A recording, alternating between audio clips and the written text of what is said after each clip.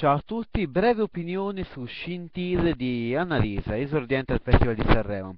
Canzone assolutamente ritmata comunque, mi è piaciuta e non me l'aspettavo che portasse, che portasse un, pezzo, un pezzo del genere. Molto ritmata, gasante, un po' di frizzantezza ecco, in, questo, in questo festival che mai guasta, una bella ventata d'aria fresca.